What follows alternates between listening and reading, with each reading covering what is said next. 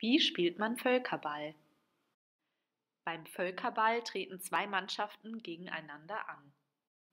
Jede Mannschaft besitzt einen König, der sich in das gegenüberliegende Außenfeld stellt. Die Mannschaften versuchen sich gegenseitig abzuwerfen. Dabei darf der Ball den Boden vorher nicht berühren.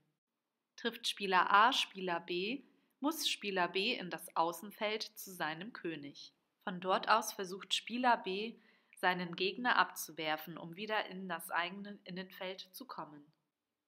Sind alle Spieler einer Mannschaft im Außenfeld, muss der eigene König ins Innenfeld. Der König wirft die Gegner ab und versucht seinen Mitspielern den Ball zuzuspielen. Er hat dabei drei Leben. Sind seine Leben weg, hat die andere Mannschaft gewonnen. Viel Spaß beim Spielen.